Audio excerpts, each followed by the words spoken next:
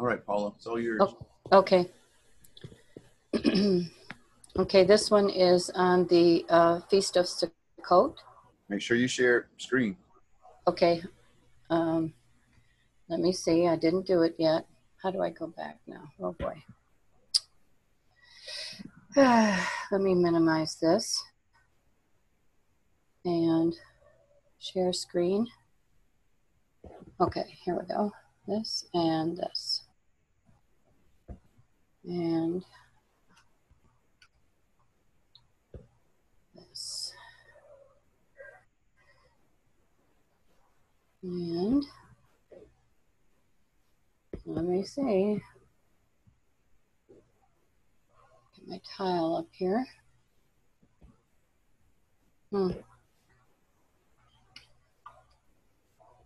Okay, I think this should do it.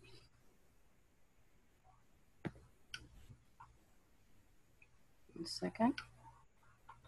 Okay, so the axis term is Feast of Sukkot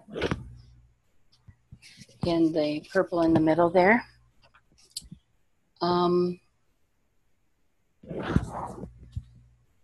okay, the um, the orange is springs because I had the verse in. Um, I was taking this out of um,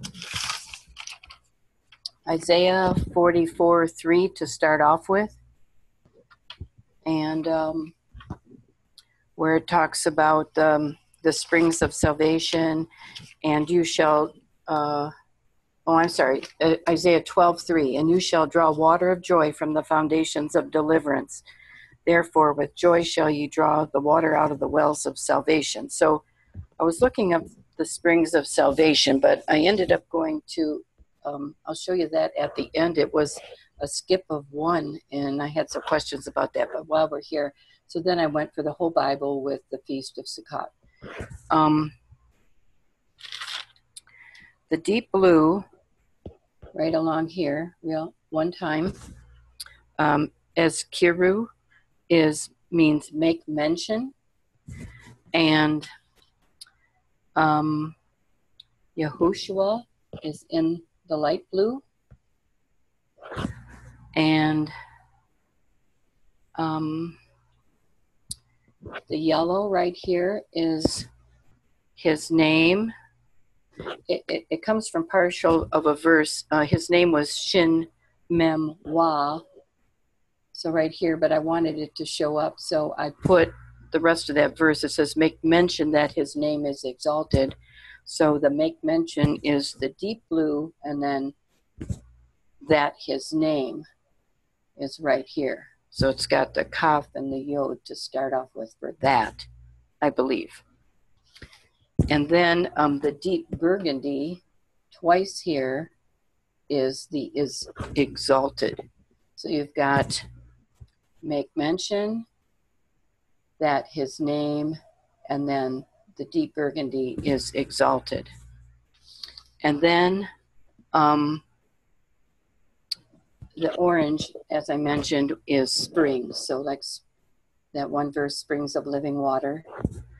Um, and then the uh, green with the yellow, which is quite a few times right here, is um, palm branch out of the lulav, lulav, one of the four, um, the four plants that are used for Sukkot. So you have the myrtles, the palm, uh, the willow, and then the citron or the etrog. I was going to look all the rest of those up, but I didn't get to it yet. But um, the lulav was there, and I kind of thought this was kind of amusing because it kind of looks like a palm branch. From if you looked at a palm tree from the sky, it would kind of look like that with its palm branches coming out. I, I just thought that was pretty cool. And so let me show you the um, the scripture. Paula, which word does lulab translate to? Um, it translates um, the date palm branch. Uh, well, it could be I had two spellings. One was in the um, uh, what would it be? The um, in the Jewish Talmud. hmm That's the the spelling I use. Lamed wa lamed bet. But Mhm. then there's also um, in Leviticus, it's um, tamarin, but I didn't look that one up yet. The tamarin palm, and that would be ta mem resh yod mem. I haven't looked that one up yet. Does Lulab appear in the in the scriptures? I don't know. You know, that's a good question. I'm going to look that up too. I saw something yesterday in this verse. I think it was 40. Um, it was either, I think it was willow, but it was either willow or myrtle. Mm-hmm. So uh, Ibri is ayin bet resh yod. Uh huh. And this word, I think it was willow, is arbe ayin resh bet yod. I thought that was interesting. Yeah, and I have uh, Willow as Arava, uh, Ayin Resh Bet Hey, and it says to compare to the the word clouds, Aravat, Psalm 68 5. Interesting. Well, it's spelled as um, arbe ayin resh bet yod in that verse in Le- Leviticus 23:40, which Okay. is the same letters as Ibri. Ooh. Oh, that's what was pretty, that verse in 68? You Uh, six, 68 5. Thank you. Mm-hmm. So this um, this is very cool right here. So this um, axis term is in the negative, so it's going upwards. So it starts right here, and and it's in Psalm. Um, let me go to the tile. Let me put your faces down here again. um, so let's see. Did I do that right? Let me go to the Hebrew. I think that's it. Um, I have to start over. Let's see. Let me look again. The het. Okay.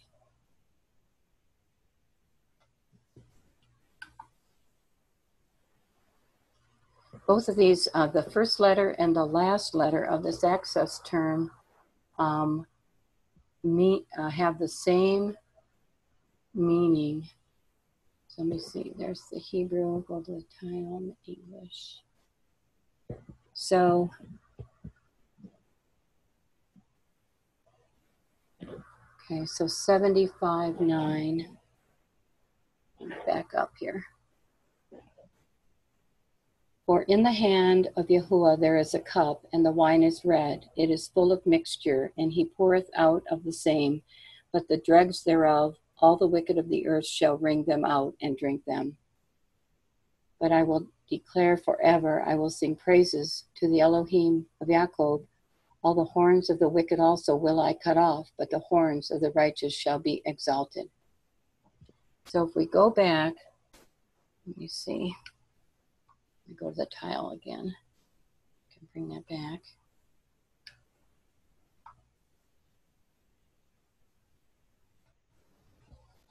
And go to the, the last letter where the ta is. It's in Ezekiel.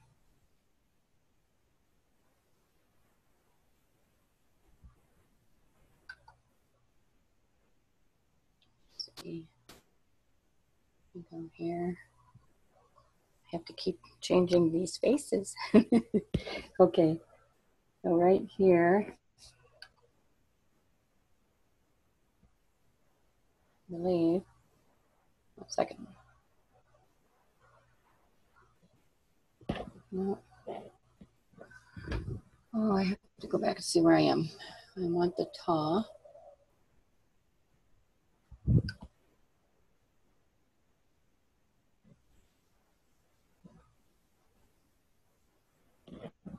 Okay, so 2038. And I will purge out from among you the rebels and them that transgress against me, and I will bring them forth out of the country where they sojourn, and they shall not enter into the land of Israel, and ye shall know that I am Yahuwah. As for you, O house of Israel, thus said the Elohim Yahuwah, Go ye, serve ye every one his idols, and hereafter also. If ye will not hearken unto me, but pollute ye my holy name, no more with your gifts and with your idols. For in my holy mountain, in the mountain of the height of Israel, saith the Elohim Yahuwah, there shall all the house of Israel, all of them in the land, serve me. There will I accept them, and there will I require your offerings and your first fruits of your oblations with all your holy things. I will accept you with your sweet savor when I bring you out from the people and gather you out of the countries wherein you have been scattered, and I will be sanctified in you before the heathen. I just, that's so awesome to me. It's really cool how it seems like the the verses they're interwoven or meant to be there. yes. Yes. So I just thought that was pretty cool. You've got, you know, his name, and um, and I was just working on that this afternoon. It's very, I, I don't know how you've all been doing it with all your moves, but boy, when you're like not in your like comfort place with your devices all set up, and once you got to start charging and moving and getting on someone else's password, it's like whoa. but I, it was very wonderful. Now, and these two right there, where the um, the deep burgundy is exalted, they cross, they they end right, they cross over each other right there. That was pretty cool too.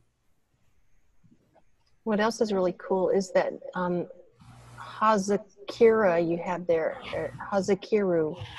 Um, the root word is zakar, which is to remember to record. Oh, to make mention, hmm the Yeah. deep blue, right, and right across. Isn't that nice? How it goes right across there. Oh, and then um, that. Um, what is that one too? I'm looking at what this one is right here. I didn't notice that before. Olive. Oh, the olive tav. Let me find that. What is that?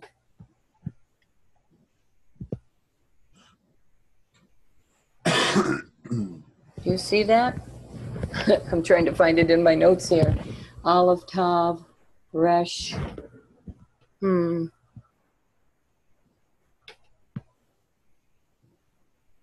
It goes right across your axis term in the pink. Yeah, Alpha, Resh, Va, Gimel. Gimel. Trying to see what that is. Oh, etrog. Oh, that's Etrog. Oh, okay, because that's the last one I looked up. I didn't write it down. Okay.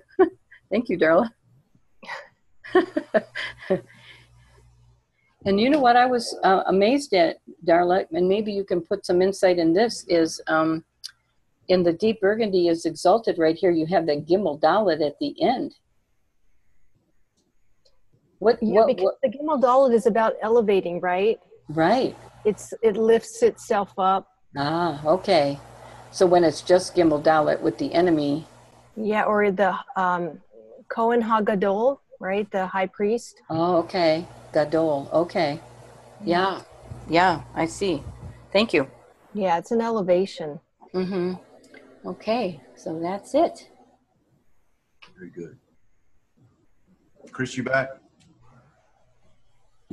Yeah, I don't know what ha- I don't know what happened. I dropped out. It's and not you, it was me. We all got kicked out. Oh, okay, okay, Yeah. When Darla tried to come in, everybody got kicked out. okay. It's funny. I, I did my whole pretty much my happens. pres- Go ahead, Oh. Chris. I was doing my presentation and I wasn't getting a response. I said, Something's wrong here. Nobody's talking. I knew you were doing that, Chris. yeah, yeah, yeah. Okay. Sorry. Um. So that that was a good presentation, Paula. That that's awesome. Um. You, do you want me to go ahead and Yeah, share? yeah. Okay. We'll we'll do this again. it's funny. All right. Um. this is actually hindsight for four from four years ago. Um. I don't know how much you've my presentation you you heard, so I'll just start again. This line right here, the axis term is the harbinger, Hey, Mem, Bet, Shin, Resh, the one bringing tidings. Um, this is Numbers 33. This is your first instance of Sukkot or Sukkot. Your, uh, these are the journeys of the children of Israel, which went forth of the land of Israel, land of Egypt, with their armies under the hand of Moses and Aaron. And Moses wrote their goings out according to their journeys by the commandments of Yahuwah, and these are their journeys according to their goings out. And they departed from Ramses in the first month, and on the fifteenth day of the first month, on the morrow after the Passover. So this is the day after the pass, first Passover. Uh, the children of Israel went out with a high hand in the sight of all the Egyptians, for the Egyptians buried all their firstborn, which Yahuwah had spitten among them upon their uh, common G gods, uh, along also with Yahuwah's executed judgments and the and the children of Israel removed from Ramesses and pitched in Sukkot. And they departed from Sukkot and pitched in Etham, which is at the edge of the wilderness. So the first place that they pitch in is a place called Sukkot. and they, they're there for seven days. And this is what what we're doing is we're we're building a booth and and we're reliving what happened when they when the Hebrews first left Egypt. Okay. And during that time, there was a, a comet in the sky. And the word comet is co- recorded right along verse 5. And the children of Israel were moved from Ramesses and pitched in Sukkot. So during that first Sukkot, there was a comet. And it's recorded there Shin, Bet, Yod, Tet. Now, from 2014 or 5774 Sukkot, Hey Tau Shen Brother Jonathan uh, and I, we did an interview with Paul Hansen about Siding Spring during Sukkot. And um, we were monitoring a comet at that time. And at the end of this, uh, you have Shin Bet Yod Tet, you also have Resh Yod Yod Tet. The word right and the word comet are attached to each other along this line. Okay. Uh, and then you have Yod, Wav, Noon, Tau, Noon. I can make a by uh, axis term out of Jonathan's name.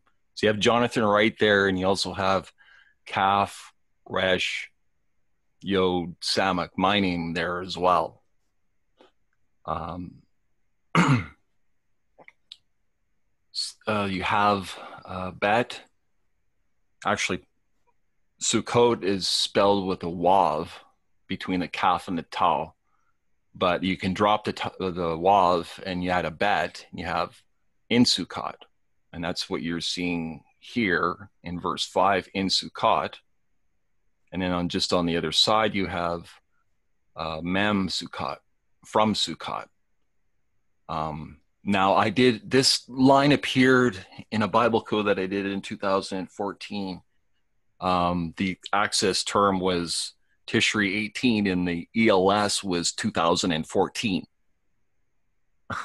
so the ELS was also the year that I was looking at for Tishri 18, which is right in the middle of Sukkot. Um, and that this line here appeared in there. Okay. Now the the line above, you have Mem Yod Shin Wav Ayin from Yeshua along there. Um, now you have the harbinger, you have comet, uh, Mem Shin Het Yod Tau. You have the destroyer. Um,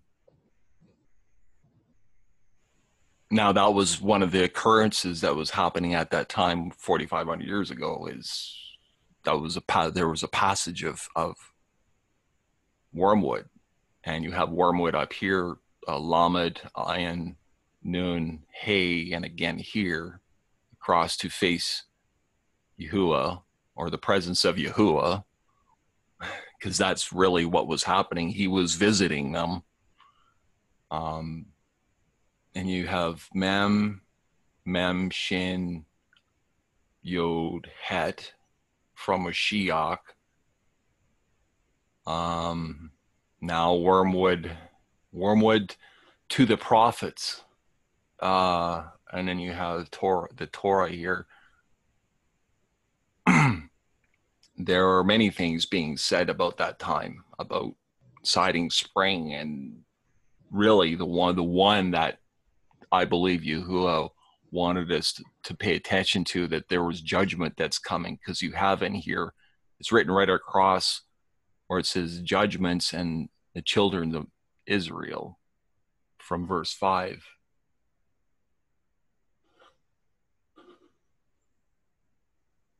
oh yeah yeah executed judgment on the uh, egyptians.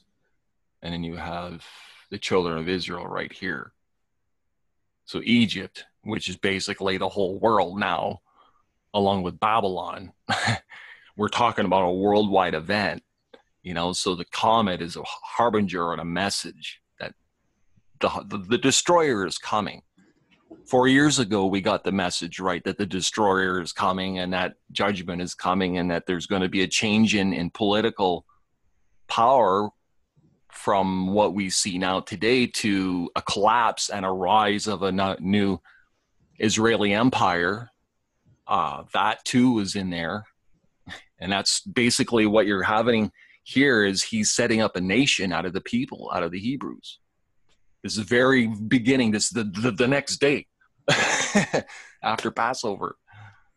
Uh, so and it, this is interesting. You have down here in verse uh, 9 you'll find this very interesting sister darla. Uh, and they this is a record of all the places after Sukkot that they had journeyed to and stayed in, and one of them is yesterday in the broadcast that um yeah. That if you go on Google Maps, all right, so so people have already gone and retraced the, the steps of the of the tribes in the wilderness. So there's archaeological evidence. There's uh, paleo uh, pictographs on rocks and things like that, um, the split rock, but also biblical um, reference like this, where there's twelve um, there's twelve wells, and it even specifies that it was a three days journey and also that there were palm, um, palms there, and you can 70. find it on Google Earth. It's so, seventy of them. Yeah. yeah. So that that uh, twelve the twelve fountains of water and the three score ten palm trees, seventy palm trees. That's a picture of the twelve tribes of Israel and the seventy elders. Yeah. And uh, and you have Moses and Aaron, of course, they're leading them.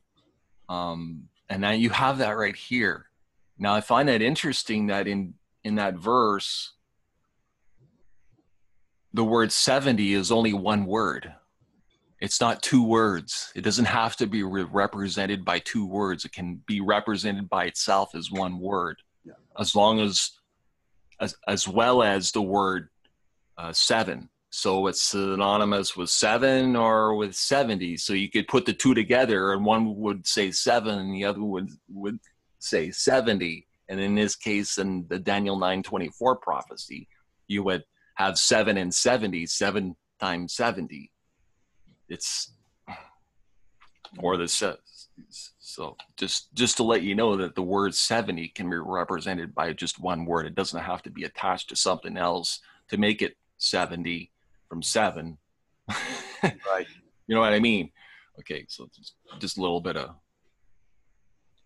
Uh, so, uh, so we we did this broadcast with pa- Paul Hansen in 2014 about siding spring, and there's 2000 uh, 5774 right there. Hey, Tau, Shan, Ayin, Dalit. I can actually shift this table over to another ELS and I can see the year as an ELS as a straight bars. So this this occurrence of this year, I believe, was what we were looking at uh, four years ago uh, for Siding Spring. Uh, what else do we have in here? Oh, uh, the word. Sorry, back up. The word palm trees, right here. Seventy palm trees. Uh, Tal Mem Resh Yod Closed Mem. That's right up here.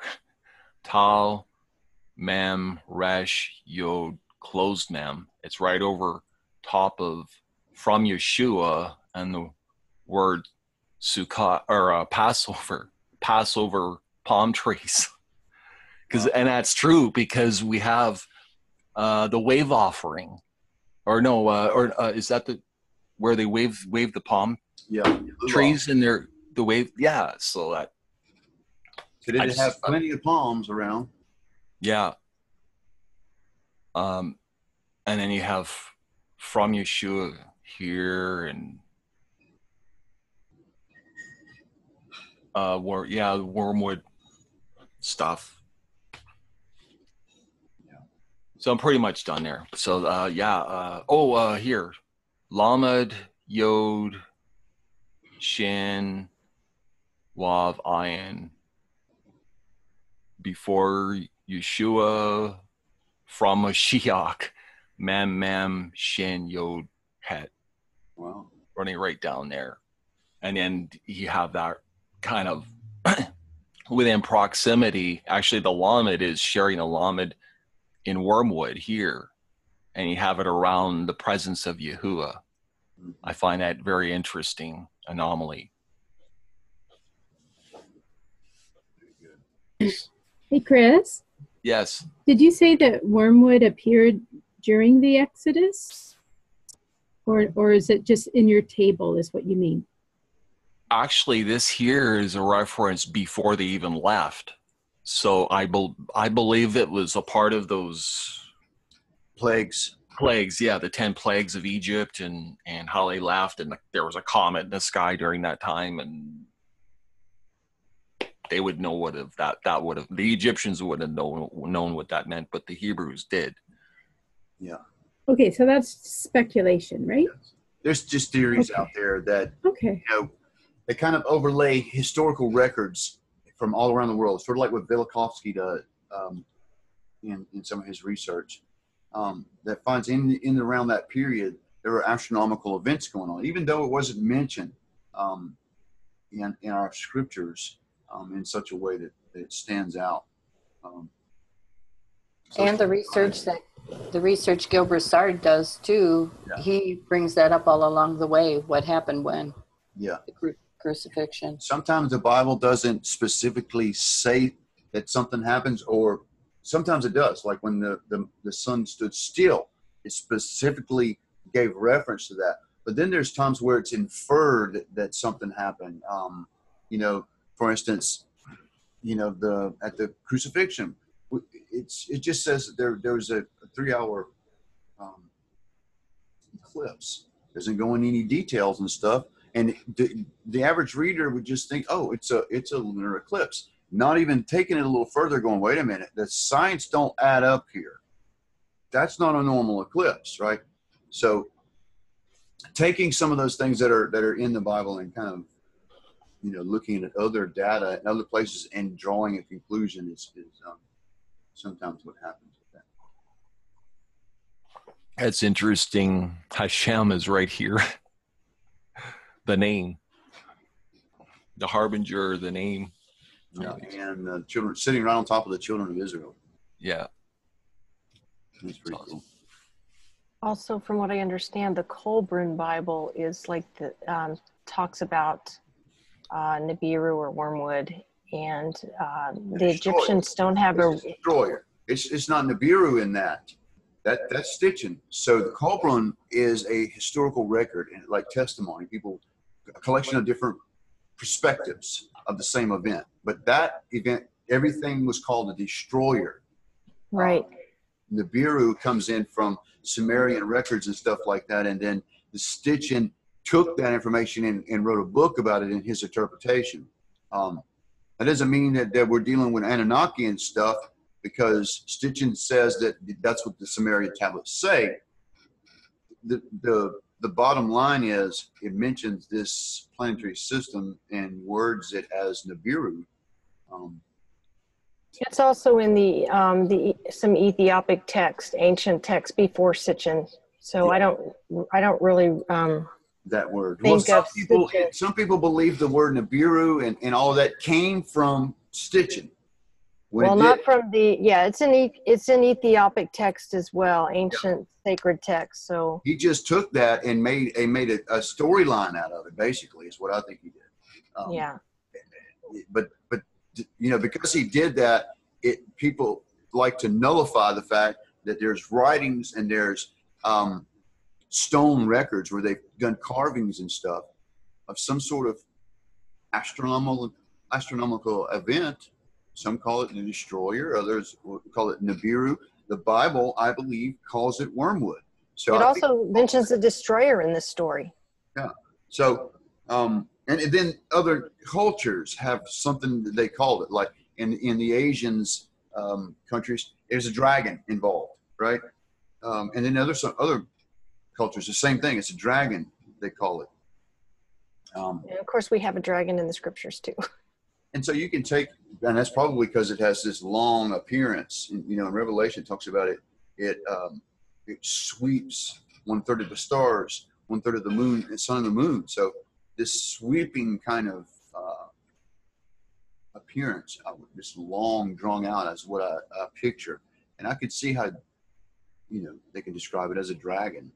Um, but I think it's all the same thing. No matter what culture, I think they're writing on the same thing. There's some 40 something um, deluge accounts or the Great Flood accounts. They all originated from no, from Noah's account, but you know you, you have all these different cultures that have writings about this particular event. I found Nibiru here at a right right angle to the axis term. Look at, Look at this. Uh, Nun bat yod resh wav. And again, right down below, and it's sharing the yod with destroyer mem shin het yod. Yeah. Or no, actually, the yod is kind of offset here, but yod still it's close enough. Yod tau. that's pretty pretty interesting. A right angle to the axis term. The, the Ethiopic um, describes that that word is used in describing that the the action of the throne of the Most High coming down, uh, it, and, it, it was uh, based on love. Um, that's what that word in the Ethiopic scriptures means. Um, any relation to Sitchin in the Sumerians, I have no idea. I just know that in the Ethiopic, in our in a biblical scripture, that word Nibiru actually translated means the throne of El has come down because of love. That's what that word means. So, you know, um, some would believe in that in, in the appearance of Yeshua, the first time and his second arrival will will both be preceded by some sort of astronomical event. The first one was probably very um, amazing to see in the sky, but probably not any, you know, from, from what I've seen in the scriptures, probably not any kind of destructive value to it on, on the planet. But um, here you see another event 33 years later at his crucifixion where there's a huge earthquake recorded. There's th- three hours of darkness. Um, some other things happen, and that's 33 years after his birth that we can see another significant time where something astronomical happened. It's it's interesting that the Passover is exactly six months apart from Sukkot. Yeah, mm-hmm. it's it's in and the things that are happening on Passover are prophetic to what's happening on Sukkot and the same Sukkot with Passover as well. It's yeah, he's he's he's, he's it's like he's saying, okay, pay attention here because something over there is going to happen. Usually in those six month intervals, if you have a lunar, uh, solar, lunar, uh, some sort of eclipse, six months later, you'll have just the opposite. Like if you had a solar eclipse, six months later, you'll have a lunar um, because of the, um, the rotation, the, the orbit. So, and, and we did see that uh, in conjunction with the, with the blood moons falling on feast days. That six months later, as we saw um, another event with the sun. It was a, a solar eclipse. I I found it interesting in Numbers 33 that it's Passover, but they're staying at a place called Sukkot. It's prophetic to what's happening there. It's just amazing. I love it. Yeah so roughly six or seven days. Um, I think I heard someone say it, that that's how long it took to get around. So it was just within a few days that they were at this place called Sukkot. Because all of it, all the way to Sinai, can be traced from from Passover to um, 40 days before um, trumpets is, is when is when they got there because he was on the mountain for 40 days and then came down 40 days and nights and then came down then went right back up and then came right back down. Uh, and it all falls on on feast days. From the presentation that i've saw it looked very compelling uh, with that information that and made sense that if these days are significant to the most high as appointment days then it stands to you know reason that Moses went up on the mountain, and it's Shavuot, which is a designated you know, appointment time, and, and what some will call the birth of the church when it happens again. And I'm talking about the fire, the holy fire coming down. It came down on the mountain in the first time, came down on the heads of the people in the upper room the second time um, at this Shavuot, what they call Pentecost. You hit, you hit it on the nail when you said appointments. These are appointments yeah. with Yahuwah, and we have to pay attention and follow through with them because He's commanding us to. Yeah, I I, I was kind of off subject. I'm, try, I'm, I'm, trying I'm trying to explain this to my neighbor because actually his sister's into the Hebraic stuff, and he doesn't understand all of that, and. Yeah, he, he, he, thought I was making a clubhouse for the guys to reminisce in the glory days. I, I had to tell, take him out of my uh, yard and say, okay, listen, I explained it to him, and he was like, oh, okay. no, no you, this isn't a clubhouse for the guys. This is a booth that I made for Yahuwah. This is for my personal relationship with him. If you want to do it, you're allowed to do the same thing. Go live in your garage for a week. you know, so it's a, it's about that personal relationship with him. That's what's the most important. He, he wants to spend time with you under the moon and the stars and the sun. And you know, in the scriptures, it shows uh, that Yahuwah turns Israel, Ephraim, loose into the world. It says, "I'm gonna cause you to go places and serve other other gods, wood, stone, and yeah." And then he says that Ephraim will come to a point where Ephraim says, "What do I have to do with idols?" Ephraim is so sick of idol worship and the idols, it comes back to the to rediscovering who he is. And, and this is where the writing the law in your heart and all of that is part of that discovery, that awakening that happens with Ephraim. Um, and it's a beautiful thing because you see the scripture being fulfilled all, all the way through this history where Ephraim forgot who he is. And now we see with this awakening of people in the Hebrew roots movement or whatever you want to call it. It's such a derogatory term now with Christians who use it. But it's the awakening of Ephraim doing just what the scripture says. What do I have to do with with the idols? I don't want this anymore. And in, in the scripture says he, he has this desire to come back to the Father to find him, and I can clearly see that. I just I didn't have an idea what that was years ago when all this started happening, 2009. But now I've I've got a pretty good lock on it. Well, I was going to say about the um, the Kolbrin Bible. From what I understand, I haven't read it. I've seen some reading of it. Uh, is that the Egyptians record this this event, whatever you want to call it, the destroyer uh, we can go with. Um, they they saw this as being some sort of uh, an event in just the, the, world being taken down. They did not see it as the Hebrew, or at least they did not record it this way. They did not receive, uh, record it as the Hebrew deity saving his Hebrew people, but that all this destruction came on them because of something that was coming in the sky. And Chris, I think it's interesting that um, the word that you have for comet has the starts with the letter Shin Bet, which is to return, right? Yes. And I also thought it was interesting where you were showing um, Numbers 33, verse 4, where it talks about also on their mighty ones, Yahuwah ex- executed judgments. I feel like we're seeing these judgments being poured out on the face of the earth right now, but it is the mighty ones that are, he's executing judgments on. Also the wicked, but still at the top of that, I think is is on the mighty ones that are involved those that are hold strongholds over the people. Yes, well, Babylon and Egypt are pretty much synonymous with each other. You're talking about one, you're talking about the other. It's Babylon, Egypt.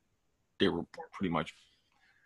A- anyways, uh, he calls Israel Sodom and Egypt in in Revelation 11. So it's there's a lot of sin going on and and and um uh, the the Egyptians the Met, Metzerim I find that's interesting that's the opposite of the Netzarim you change one letter from from it and you have two different groups of people being described. Um one being the ones living in Egypt the other ones who are being called to restore. That is so profound. Yeah, that's, it's just that's cool.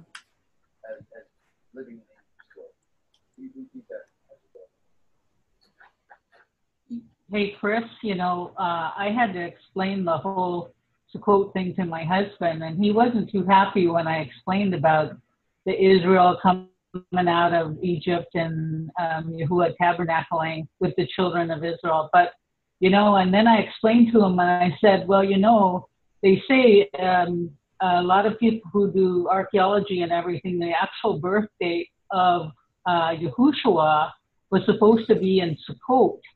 And the other thing is his name was called Emmanuel, which means Yahuwah with us.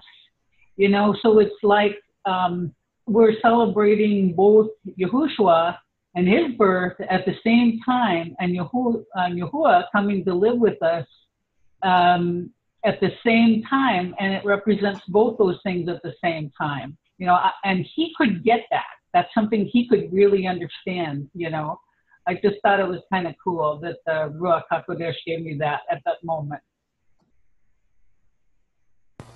That's very cool, Sandy.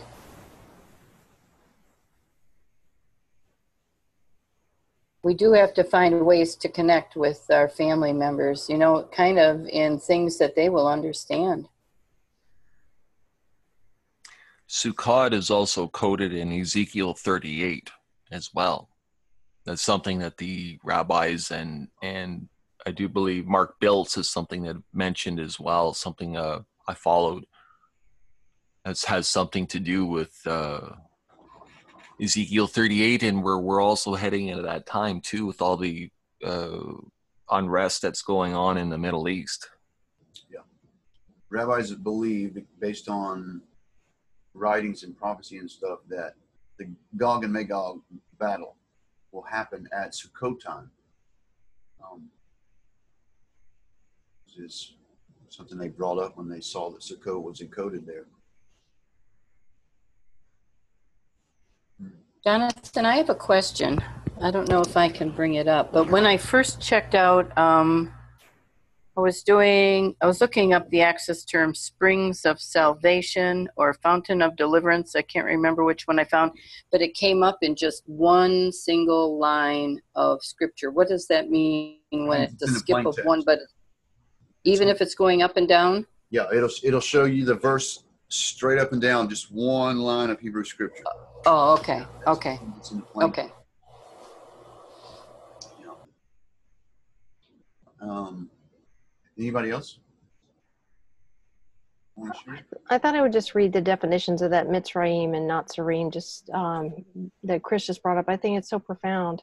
So the the root word matzar is to bound, confine, limit, straight, distress, that which is pressed in, confined, and limited. And then knots are to watch, guard, keep, to put on the safety catch, um, an overseer. He guarded, he watched, kept, he guarded from danger, preserved, he observed, he kept secret, he kept close, blockaded, he put on the safety catch, and it also means to convert to Christianity, and it's also sprout and shoot.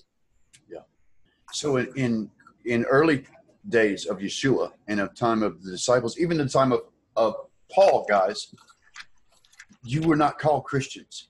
You would call Natsar or Natsri. And if it was a bunch of you, you'd call Natsreen. Mhm. Paul was accused of being in the sect of the Natsar. He was accused of being a Natsar. What is that? That that root that word is connected to the branch to the root to the to the tree right? Netzer notzer. Yeshua is the notzer. Yeah, some would uh, recognize it more as the word Nazarene. that's where nazarene comes from. That's the, the family of words. Those root words have all have an origin right? Nazarene comes from from that the natsar and this is the scriptures say that he's going to be born a nazarene a Nazar. And, and the word itself means to restore the preserved or to, preser- to preserve. the, to guard right. It's like Guard. a guardian or a watchman. It's like a watchman. A, a netzri is a watchman. Another, another word for that is shomer. Shomer is a guardian or a watchman.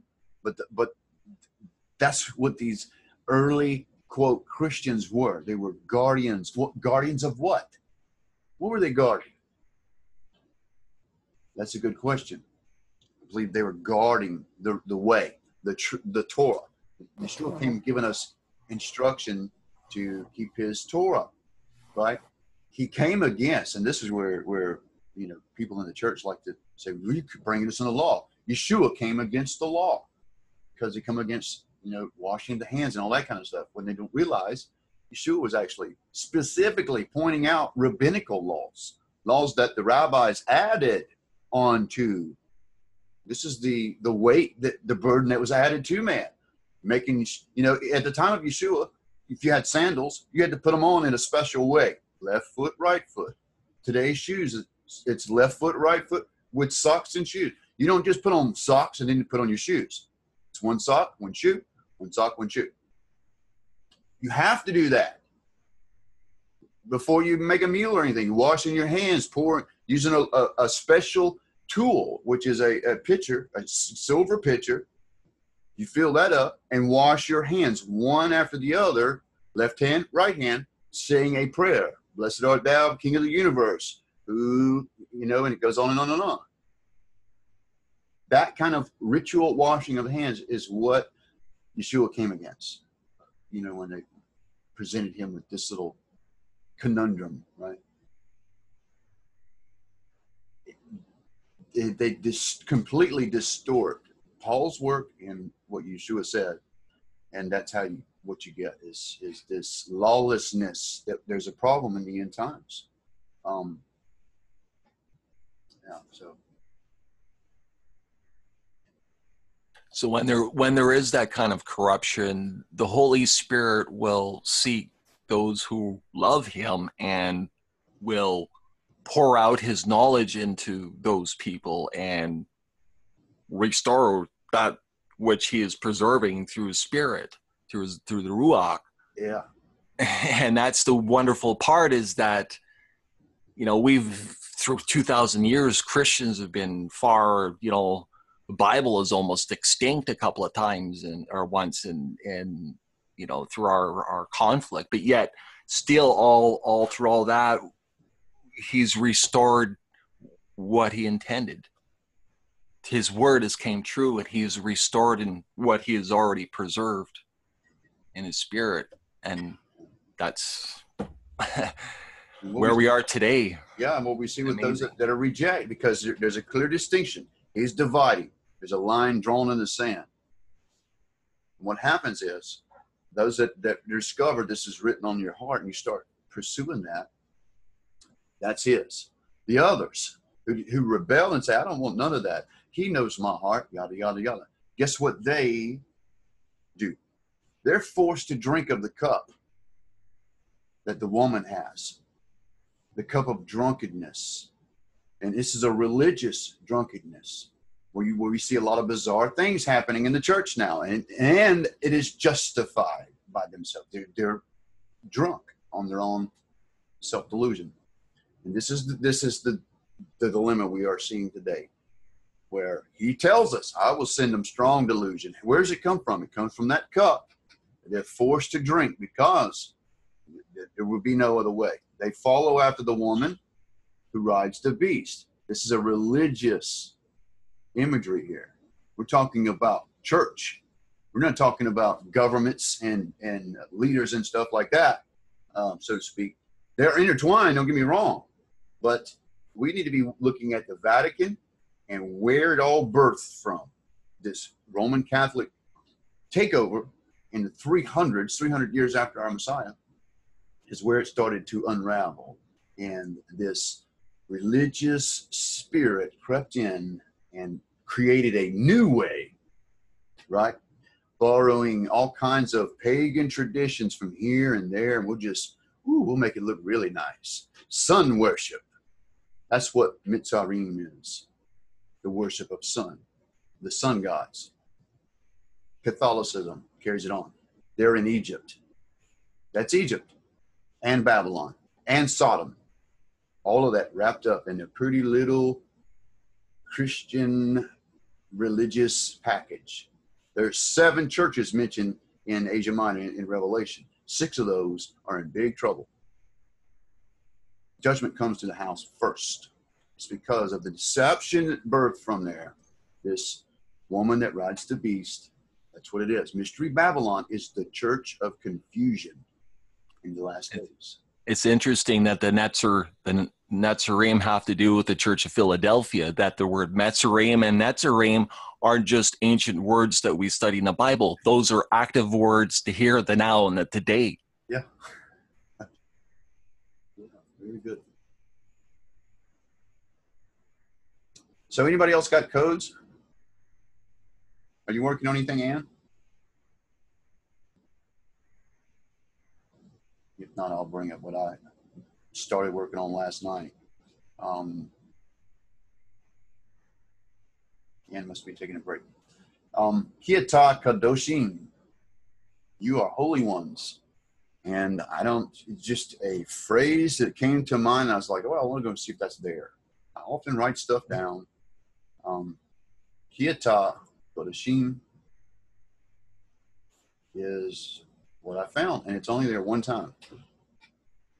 So what you're seeing now is, is basically, initially, I'm going down all the verses and seeing the, the body of uh, the matrix right there. What is passing through that area? Because I believe that when these codes are unlocked, like a combination, and Yahuwah puts it on a width of a cylinder.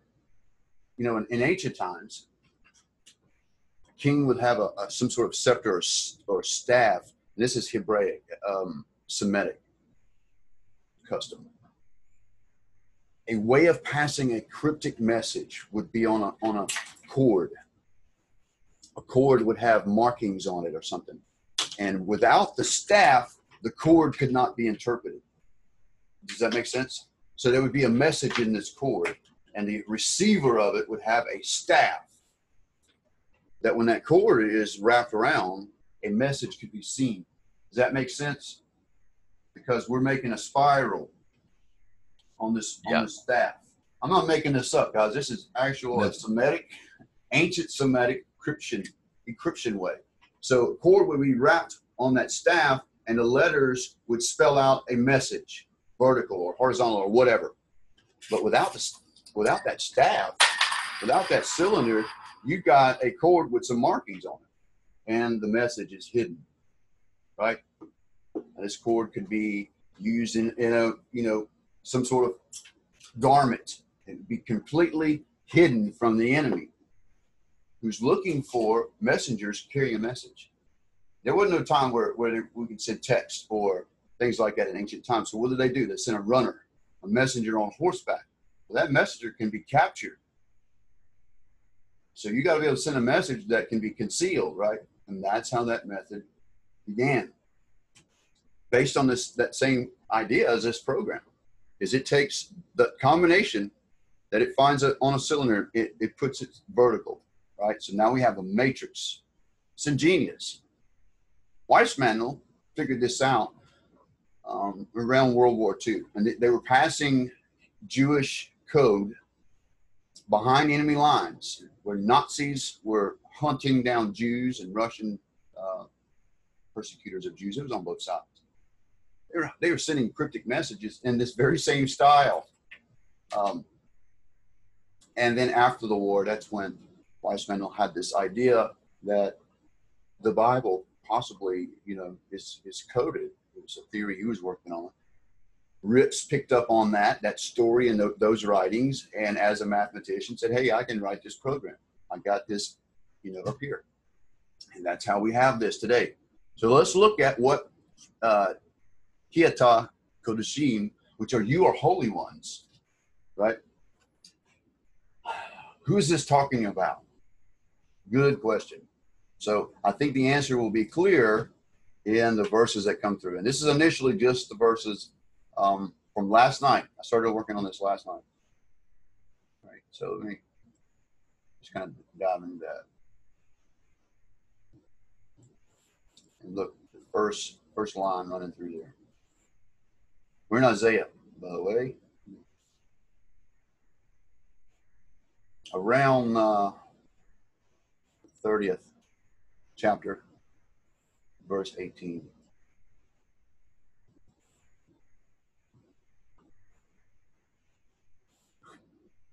It's kind of hard to do this with all the class here. All right.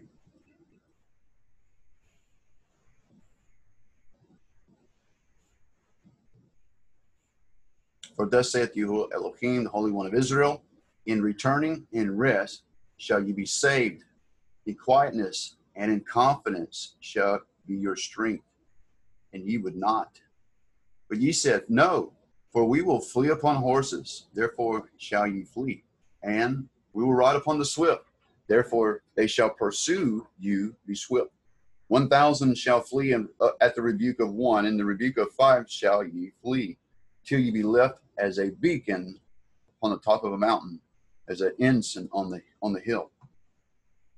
Now we're talking about the holy ones, the Bachri, the Bachri, which is uh, right here in, in the plain text. That is my elect, right?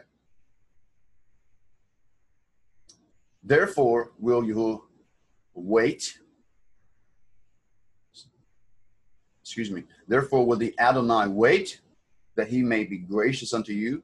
and therefore he will be exalted, that he may have mercy upon you. For you, for Yahuwah is an Elohim of judgment. Blessed are they that wait for him. For the people shall dwell in Zion at Jerusalem. Thou shalt weep no more. He will be very gracious unto thee at the voice of thy cry. When he shall hear it, he will answer thee.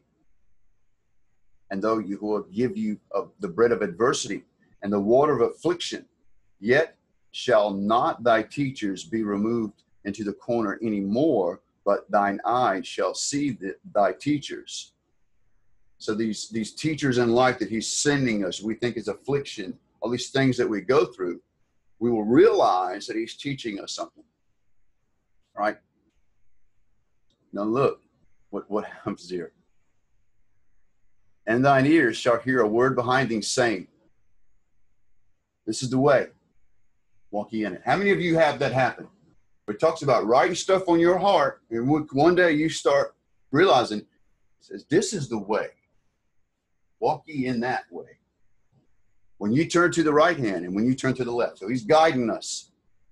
Ye shall defile also the covering of thy graving image of silver and the, of thy molten images of gold, and then thou shalt cast them away as monstrous, a mistress claw. Thou shalt say to it, Get thee hence.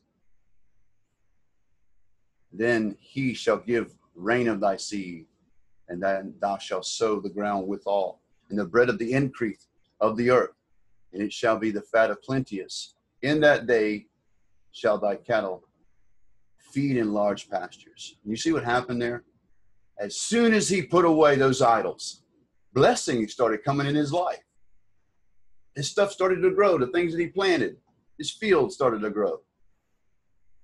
Things changed.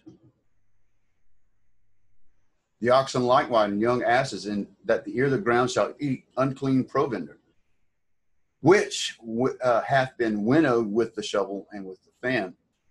And there shall be on every high mountain, on every high hill, rivers and streams of water in the day of the great slaughter when the towers fall. Moreover, the moon of the light shall be as the light of the sun, and the light of the sun shall be sevenfold, as of seven days. And in that day Yahuwah bindeth up the breach of his people and heal the stroke of their wound. Behold, the name of Yahuwah cometh from afar, burning with his anger, and the burden therefore is heavy.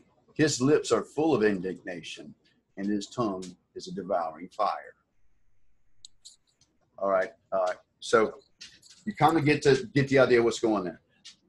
The the the Bakri, the chosen, are going to come to a point where they are tired of these idols and they're going to start turning. But you notice this is right before the, the return of the Most High. All right, let's let's look at the, the next line because I can see that we're talking about the Holy One of Israel here. It's three times it comes through this. So we're just going to see what we're at here. Oh, Isaiah 41. And so we see this reoccurring kind of pattern with these axis terms that it seems like these verses that Yahuwah wants us to see that are not normally there in this sequence. Let's be very clear on that. They're not normally there in this sequence. But based on this axis term, we're giving these scriptures in a sequence that he wants us to see these in this. And that's why I went through line by line and started seeing a pattern there. Okay. So um, just to show uh, 41 where we're at here. Um, I think that's really significant, Jonathan, is that these verses are brought together from the axis term, that they're not normally seen in this light together. Yeah. But thou, Israel, art my servant. Jacob, whom I have chosen, the seed of Abraham, my friend. Thou, whom I have taken from the ends of the earth, and called thee from the chief men thereof, and said unto thee, Thou art my servant. I have chosen thee, and not cast thee away.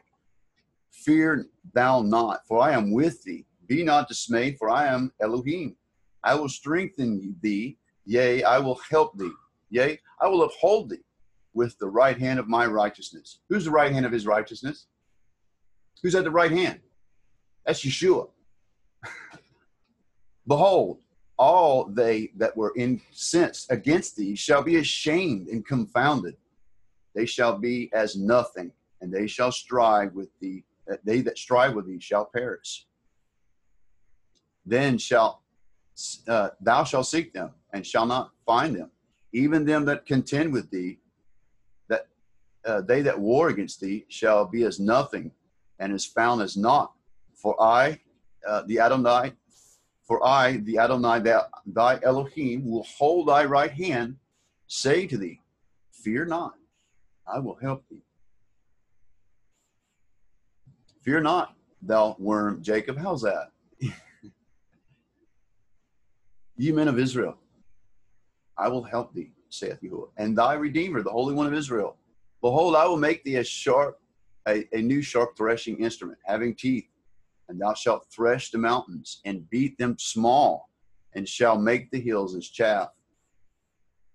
Then uh, thou shalt fan them, and the wind shall carry them away, and the whirlwind shall scatter them, and thou shalt rejoice in Yahuwah, and thou shalt glory in the Holy One of Israel. When the poor and needy seek water, and there is none, and the tongue fails for thirst, I, Yahuwah, will hear them.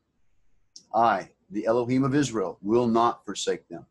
I will open the rivers in high places, in the mountains, in the midst of valleys, and I will make the wilderness a pool of water and a dry land springs of water. And I will plant wilderness in this with the cedar, the shittim tree, and the myrtle, and the oil tree. I will set in the desert the fir tree and the pine and the box tree together, that they may see and know and consider and understand together that the hand of Yahuwah hath done that. Do you understand what he's he does things for us, impossible things, so that we know that he's doing this. Does that make sense? Do you ever see this in your life? Produce your cause, saith Yahuwah. Bring forth your strong reasons, saith the King of Jacob.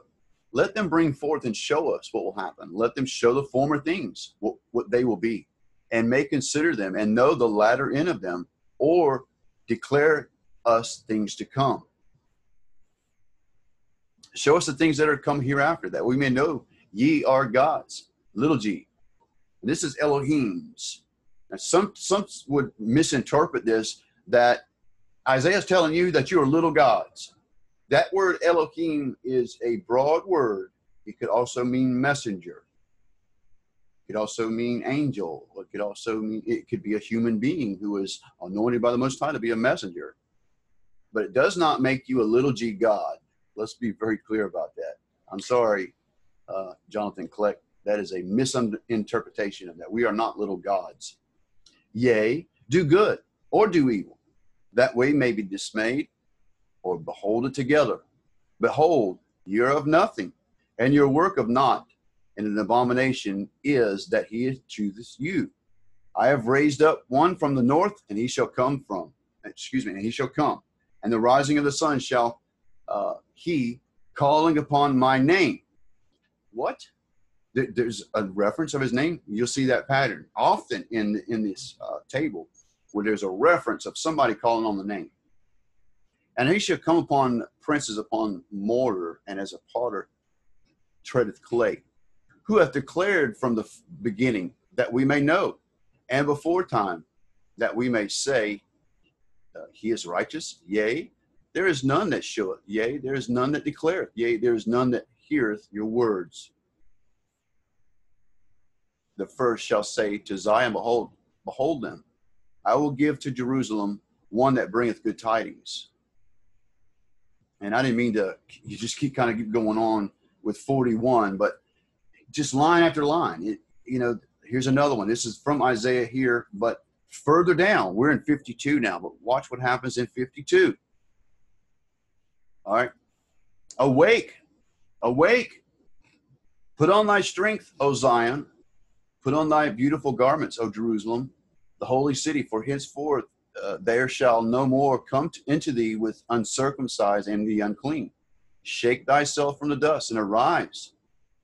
Sit down, O Jerusalem, loose thyself from the bands of thy neck, O captive daughter of Zion. The captives, the, the ones in Diaspora.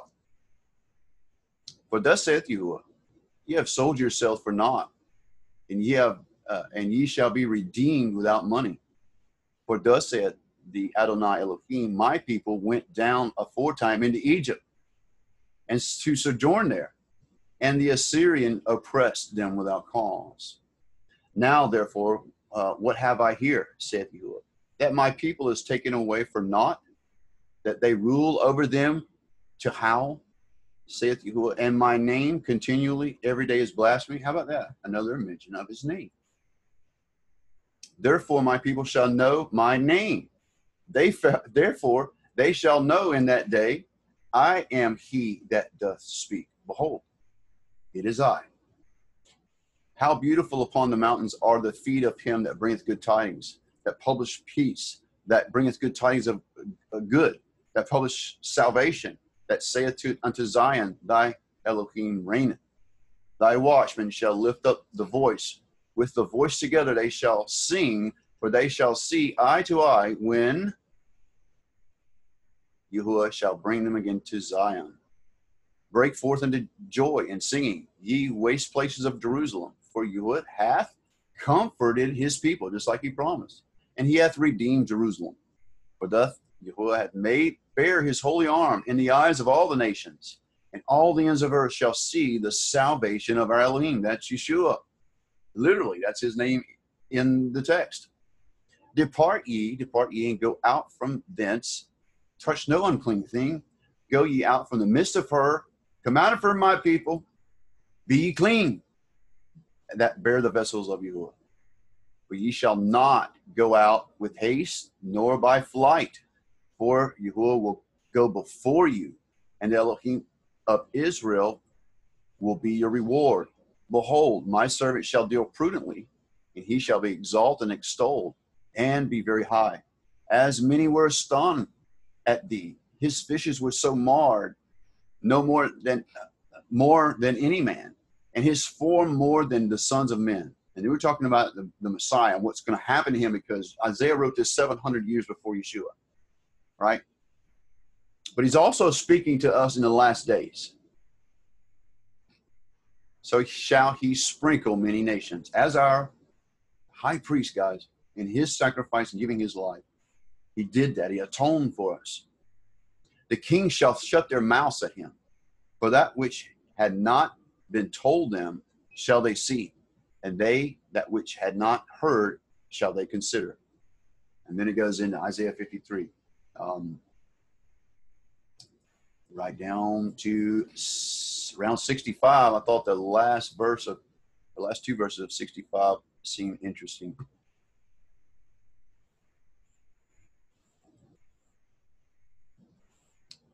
All right, just back up. So, and I will rejoice in Jerusalem and joy of my people, and the voice of weeping shall be no more heard in her, nor the voice of crying. And there shall no more be uh, thence an infant of days, nor a man, an old man that hath not filled his days. We're in the kingdom now. You understand that? At this point, when their little babies are are living, um, and old men are living, you know, long life. They're they're not dying here. So, so a child shall die at hundred years old. So I mean, you know, a child, 100 years. So, I mean, that implies that old men are like Methuselah. They shall build houses and inhabit them, and they shall plant vineyards and eat fruit of them, and they shall uh, not build and another inhabit it, and they shall not plant and another eat. For as the days of a tree are the days of my people, and mine elect, that's you, shall long enjoy the work of their hands. They shall not labor in vain, nor bring forth in for trouble. For they are the seed of the blessed uh, of Yahuwah, and their offspring with them. And it shall come to pass that before they call, before you even call, I will answer. So before we even prayed for Paul's house, guess what Yahuwah did? He already answered. And while they yet speaking, I will hear the wolf and the lamb shall feed together, and the lion shall eat straw like the bullock. And thus shall be the serpent's meat, and it shall not hurt nor destroy in all of my holy mountains, saith Yahuwah. I mean, we're going into the kingdom at this point. Um, I'm just going to skip down to, to where I got verses highlighted because each one of these marks that I go down I'm just, this is me marking where I am in the script. And if I have a longer, it means it's more significant. So just kind of let you know what's going on there. So we're in Jeremiah this time, 25th chapter. And I'm going to just uh, back it up. Jeremiah the prophet spoken to all the people of Judah and all the inhabitants of Jerusalem, saying, From the 13th year of Josiah, the son of Amon, king of Judah, even unto this day, that there uh, that is the three and twentieth year that the word of Yahuwah had come unto me, and I have spoken unto you, rising early and speaking. But ye have hearkened not. And Yahuwah hath sent unto you all his servants the prophets, rising early and sending them. Ye have not hearkened nor inclined your ear. And they said, Turn ye everyone now, everyone from his evil way, and from the evil of your doings, and dwell in the land. and Yahuwah hath given unto you and to your fathers forever and ever. And go not after other gods to serve them and to worship them and to provoke me not to anger with the works of your hands, and I will do you no hurt. Yet ye have not hearkened unto me, saith Yahuwah, that ye might provoke me to anger the works of your hands to your own hurt. Therefore saith who is Zavaot, because ye have not heard my words. Behold, I will send and take all the families of the north, saith and Nebuchadnezzar, king of Babylon, is my servant, and will bring them against the land. So, um, so it, here is Jeremiah addressing in this in this sequence. It gets there's a warning that comes, and then promises that comes uh, for those that, that are obedient. So he is telling them there uh, what's going to happen because of your wickedness. Nebuchadnezzar comes, and I saw Obama as a Nebuchadnezzar um, that that came as judgment on this nation. Same thing with the, with uh, Trump being a Cyrus figure, another vessel of Yahuwah um, that that came upon the nation. But with the judgment, as also promises that, that are, are there as well. Moreover, I will take from them the voice of more, the myrrh, the voice of gladness, and the voice of the bridegroom, and the voice of the bride, the sound of the millstones, and the can- and the light of the candle. And this whole land shall be a desolation and astonishment. And these nations shall serve the king of Babylon 70 years. And this is when Judah went into exile for 70 years. Not like the northern tribes, which was over 2,000 years. It was just 70 years, and they were allowed to return. We know this because Yeshua was in Jerusalem being crucified after that 70 years.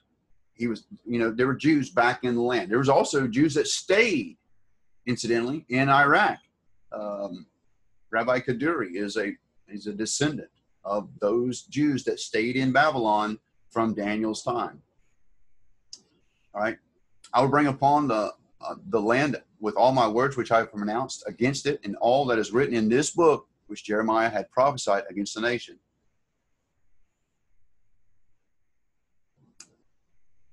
For many nations and great kings shall serve themselves of them also, and I will recompense them according to their deeds and according to their works of their own hands. For thus saith the Adonai Elohim of Israel unto me, Take the wine cup of his fury at my hand, and cause the nations to whom I see, send thee to drink it.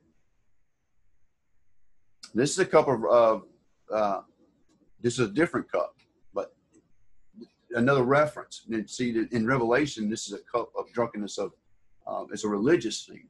This right here is um, very similar, but it is different. This is the nations are drinking.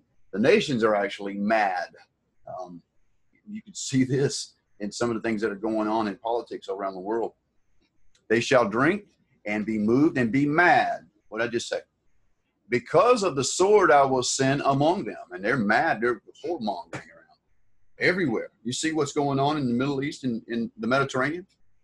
Then I took the cup at the Lord, at Yahuwah's hand, and made all the nations to drink unto whom Yahuwah had sent me.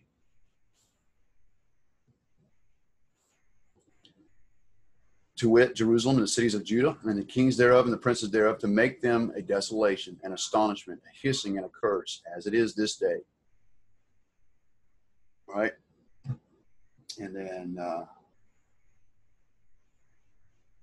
Jeremiah 31. Excuse me. Now, we could read line for line, but we'd be in class for six hours, so I'm kind of you know skipping down to the meat of it. 31, 38 is what I've got highlighted there. Behold, the days come, saith Yahuwah, that the city shall be built unto Yahuwah from the tower of Hananeel unto the gate of the corner.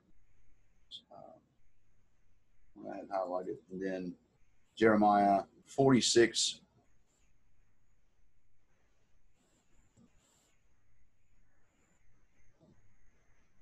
Uh, but fear not, O my servant Jacob, and be not dismayed, O Israel, for behold, I will save them from save thee from afar off, and thy seed from the land of their captivity, and Jacob shall return.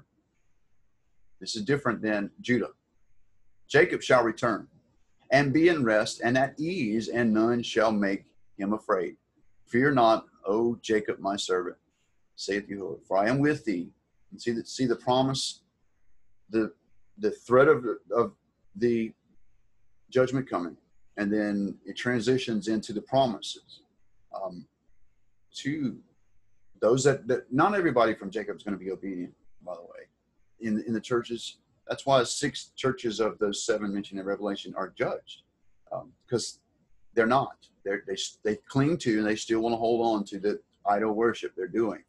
Um, but he has promised, "Fear not, O Jacob, my servant," saith you, for I am with thee.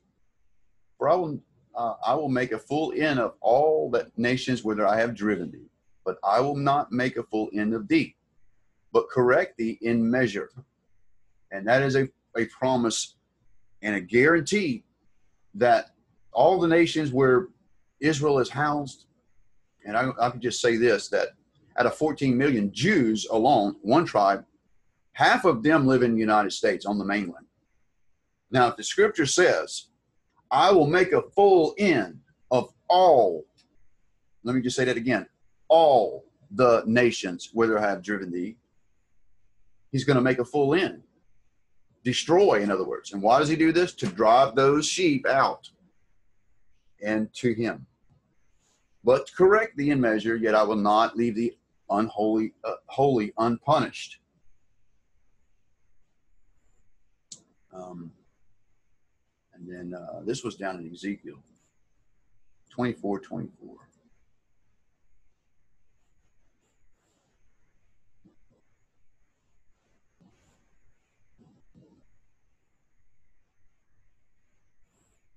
Speak unto the house of Israel, saith uh, you Elohim, behold, I will profane my sanctuary, the excellency of your strength and desire of your eyes, and that which you your soul pitieth. And again, here we are with, in Ezekiel, same thing, same pattern, goes through the the the thread of these judgments, but but also woven in there are the promises to to Jacob, to Judah, um, that he's not going to forget them. You're going to be under some punishment. I got to punish those deeds, right? But here's the promise your seed, they're still mine. I'm going to deal with them righteously in the end. So that's, that's what we're supposed to take away from, from these prophets and their the pattern that we see there. All right. Speaking to the house of Israel, saying to you that Yahuwah Elohim, behold, I will profane my sanctuary, the excellency of your strength, the desire of your eyes, and that which your soul pitieth, and your sons and your daughters, whom ye have left, shall fall by the sword. And ye shall do as I all have I have done, yet shall not cover your lips, nor eat the bread of men. And your tires shall be upon your heads, and your shoes upon your feet. Ye shall not mourn nor weep, but ye shall pine away from your iniquities, and mourn one toward another. Thus Ezekiel is unto you a sign. So Ezekiel was given to us as a sign, as a as a messenger, as a banner.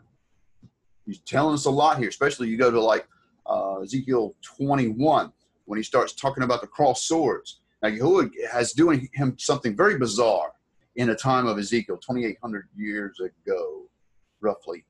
Um, made no sense then. Had no hadn't made no sense to those people that saw him doing this and was declaring these words. But come to the time of modern age and the time of modern Iraq, you see the, the manifestation of those crossed swords in Ezekiel 21 in Saddam Hussein's kingdom. He fulfills verbatim what is said there. He's even the Babylonian king that is into magic and witchcraft, looks at the, the innards of animals. So Hussein did that. He creates this parade ground where he can ride around his horse and say, "Look how look how much of a conqueror I am." because those swords were made from the weapons and the helmets of the of killed Iranians. Two million people died in the Iraq-Iranian war, and the weapons and helmets were fashioned into swords that are sharpened and polished so that they shine. Read the text and look at that cross swords. Uh, Google that cross swords of Saddam Hussein, and you'll see the manifestation of Ezekiel 21. Ezekiel was assigned to us. We're seeing things from Ezekiel fulfilled verbatim. I mean, it's incredible. Um, so let me just get down all the way. Let's see. Let's check down the verse. So we're in Psalms by this point here, Psalm 31. And exactly where? 12.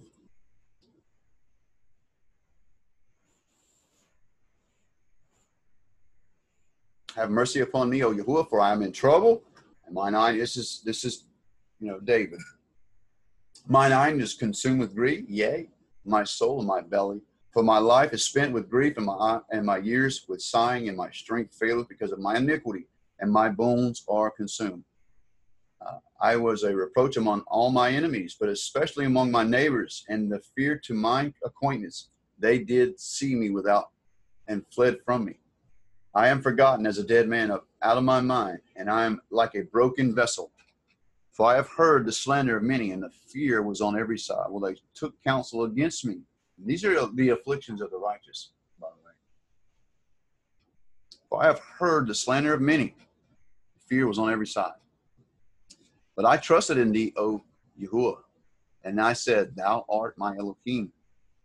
My times are in, at thy hand. Deliver me from the hands of my enemies and from them that persecute me. Make thy face to shine upon thy servant and save me for thy mercy's sake. Let me not be ashamed, O you, for I have called upon thee. Let the wicked be ashamed, and let them be silent in the grave. Let the lying lips be put to silent, which speak grievous things proudly and contemptuously against the righteous. Oh, how the great is thy goodness, which thou hast laid up for them that fear thee, which thou hast wrought for them that trust in thee before the sons of men. Thou shalt hide them in a secret of thy presence from the pride of man, and thou shalt keep them secretly in the pavilion of the strife of tongues. Blessed be Yahuwah, for he hath shown me his marvelous kindness in a strong city. For I have said in my haste, I am cut off from before thine eyes. Nevertheless, thou heardest my voice in his supplications when I cried to thee. Oh, the love, the Adonai, and all of his saints. And that's the holy ones, the Kodashim. For the for Yahuwah preserveth the faithful and the plentiful, and the reward of the proud doer. Be of good courage, and he shall strengthen your heart, and ye that hope in Yahuwah. I think that's just a beautiful psalm. And then another one here 115.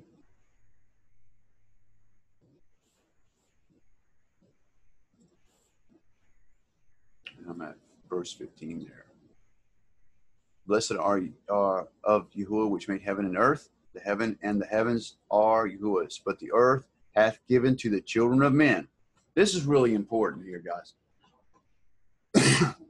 man will inherit the, the the the righteous will inherit the earth okay you're not you're not taken out of the earth and that is in this this uh, matrix somewhere i did find that um matter of fact it's the very last one here in proverbs where we're, we're actually told what happens to the wicked and the righteous um, and that's just one verse there's confirmation verses that point to the same thing it's not just this one verse we're making a doctrine it is all over the scriptures that say the very same thing. The righteous inherit the earth, the wicked are removed.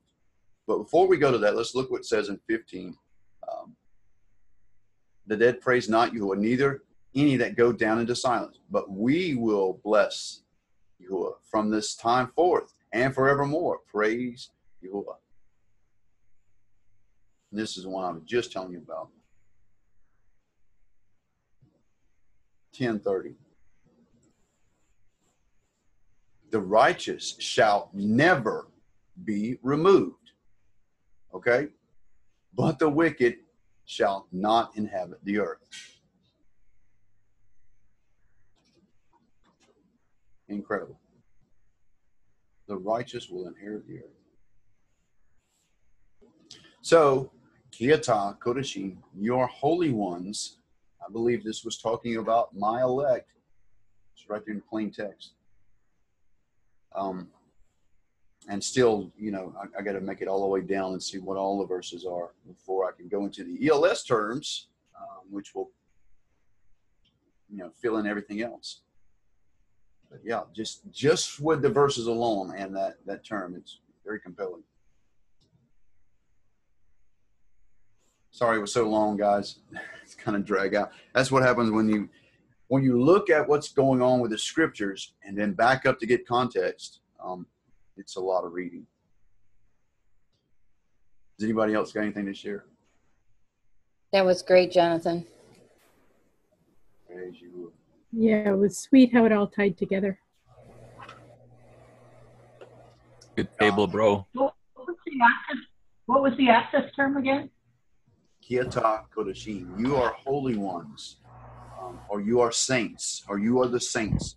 It's, uh, I, I saw it as, as you were declaring because the verse that that's connected to is talking about his elect. Um, but then when you look at all the verses, you see this, you see this, this threat of, of, of judgment coming, but also the promise if you're righteous. So this, this balance there with the prophets and, and the pattern they're showing um, specifically to who? Not to the Gentiles, not to the heathens, but to those that his chosen, his seed. That's who he's talking to. The rest is, you know, if you're not grafted in, guess what? You are removed. That's just there's no other way around that. You know, I've lost considerable amount of subscribers in the past two weeks. Another 20 yesterday based on truth, guys. I'm, I'm, I'm not pulling anybody's leg. I'm not pulling any punches, but just laying it out there. What the scripture says. Not buying the touchy feely, sugar coated stuff anymore. You know, I see the deception in that, and he's calling us out of it. He says, Wake up, shake that stuff off, come out of her, my people. That's not talking about America in, in it may be in, in a sense, but some people are interpreting that as just be specifically and literally only talking about Babylon, America, which is not why we moved to Hawaii. And, and I believe that there's judgment coming to the mainland and other places, but that's not why I moved because I thought it's Babylon come out of her, my people. The Babylon come out of her, my people is a religious structure, this religious deception. That woman that's riding the beast, which caused men to be defiled, is one of two women mentioned in Revelation. The other woman is the uh, the mother of the man child in Revelation 12, right? But the other woman is a harlot. And if you go and read that, she causes the men to be defiled that drink of that cup um, of her fornication. I believe this is a religious um, connection there with the, with the churches that they become drunk with this doctrines, the different doctrines that we see out there that they just get consumed with and cannot see straight because they're drunk in it. You know, even when you present them with solid, irrefutable proof, cognitive dissonance hits them in, in the face and it's like a it's like shut down time. Don't don't go there. I like where I'm at. It's it's it's a good place. And they're still in Egypt. Sun worship. All right. I'm rambling now. Anybody else want to share something? That was interesting, brother, when you brought up Jeremiah 25. That that is a reference the the uh, actually here let me pull it up. I'll pull it up in scripture. Uh, jeremiah 25 that's that's a reference to revelation 18 talking about 25 9 yeah here we goes Moreover, I will take from the voice of the mirth and the voice of the gladness, the voice of the bridegroom and the voice of the bride, the sound of the millstones, the light of the candle. And, uh, and this whole land shall be a desolation and an astonishment, and these nations shall serve the king of Babylon 70 years. That is a reference to Revelation chapter 18. When you read Rejoice over her, thou, uh, thou heaven, and ye holy apostles and prophets, for Yahuwah hath avenged you of her, Babylon. And with a mighty angel took up a stone like a great millstone and cast it into the sea, saying, Thus a violent shall the great city of Babylon be thrown down and shall be found no more at all. And here you see the same language and the voice of the harps and the musicians and the pipers and the trumpets shall be heard no more at all in thee, and no craftsmen and what's whatsoever crafts be and shall be found no more in thee, and the sound of the millstone shall be heard no more and in thee, and the light of the candle shall shine no more in thee, and the voice of the bridegroom and Look all of the bride shall be heard no more in thee, for thy merchants blah blah blah blah. You see the same context being yeah. said in revelation 18 and you back you back up to verse 3 or verse 4 come out of her my people. It's within the same context jeremiah 25 amen. And he, jeremiah uh he mentions it like three times in his ministry in scripture about the the the the voice the, the light of the uh, the voice of the bridegroom and the bride. Just thought, I thought I'd throw that in there and mention that because it's very relevant. It is. You you'll see this cross reference many times with with Daniel and with John and with the the other um, prophets where they're speaking the same language. And if you triangulate that and start dissecting uh, what's going on here, sometimes they're talking about the same thing.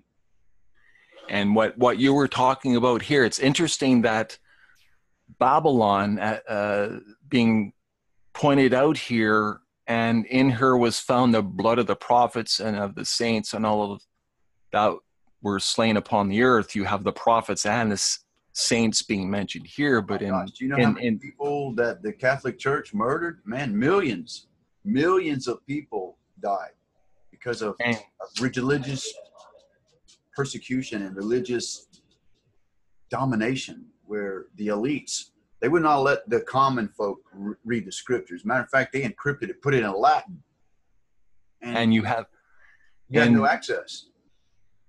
Right in revelation 17 you have the same thing not the blood of the prophets but you do have the blood of the saints being mentioned here and this is the woman riding the beast with mystery babylon the great the mother of all harlots and abominations is written on her forehead. So it's all within context with each other. Yeah. I think um, you know that can be interpreted that religious spirit is the woman and the seven horns are the are seven uh, dominant christian nations. If you can you can look in America and in Europe and pick out those nations. But then you have others. You have the 10 that, that rise up, right, in another place. These are also, horns are usually nations um, or, or kings or something like that, right? The beast that's she's actually riding is the carrier of this religious spirit. So who's the carrier? Well, the, the, the greatest exporter of two things, pornography and Christian literature is, you know who? The USA. Those two things. Number one exporter of pornography and Christian literature. So Christian publication. That's incredible. So this this country is is a part of that beast system. This whole religious system that's described there is religious but also has inwoven the, the governments that are part of that. In God we trust. Where does that come from? Well, if you really dig down in that, it's not the Elohim that we serve. Um, it looks like that. It appears that way. Um, maybe sometimes feels good, especially when you got a lot of it in your pocket. But um, that's mammon. That's not Elohim. That's not our Elohim. Might be somebody else's Elohim, but it's not ours you don't have a pyramid with an all-seeing eye on it saying "In God We Trust," Gimel Dalet, which is, you know what that is? It's a Babylonian deity of fortune, mammon, money. We serve money in this country. Um, caught up into that. There's there's um, there's like the whole Babylon, Mystery Babylon. There's that one side of it, but then there's the other side of it. I just wanted to mention when we read in Revelation chapter 8, when the prayers of the saints, the prayers of the saints, those are the ones that have been martyred by Babylon that I just showed you in Revelation 17 and 18. Those are the prayers of the saints. And that those prayers get put in a censer and they're thrown at the earth. That's a comet that gets. Come Yeah, that, I've always that, interpreted that too. Some co- sort of comet or asteroid or something. and that- Because is- John is seeing a he's seeing a physical representation and he's seeing what's actually happening in heaven, right? So he describes both things in that. And you're right. I think it's a comet or some something that Yeah. but this message, this is a message directly to Babylon itself. Your destruction is coming. Your destruction is coming. That's what that message is. And a great star fell, flaming as a torch. Uh, it's, it's describing something that sounds like a comet uh, or very large asteroid, something that, you know, when, when this thing happens, everybody's going to know. Everybody, you can't hide it. Wow. Very good class, guys. Has anybody got anything else they want to share before I close? Sandy, you got a table you want to share? I'm working on it, but uh, it's not ready. It's actually Desolate Babylon. Oh wow. I've presented it before, but I'm doing um, a couple other tables on the same thing. So reworking that. Interesting. that Maybe the next- whole topic's been on that. Yeah. How you doing, Riku? I- Yeah. Yeah, I'm Good. tired already. Tired. Bless his heart, Father. Yeah, We're praying for you, brother. I wish you were here with us or somewhere celebrating uh, Sukkot with somebody. Um, Yeah. We're thinking about you.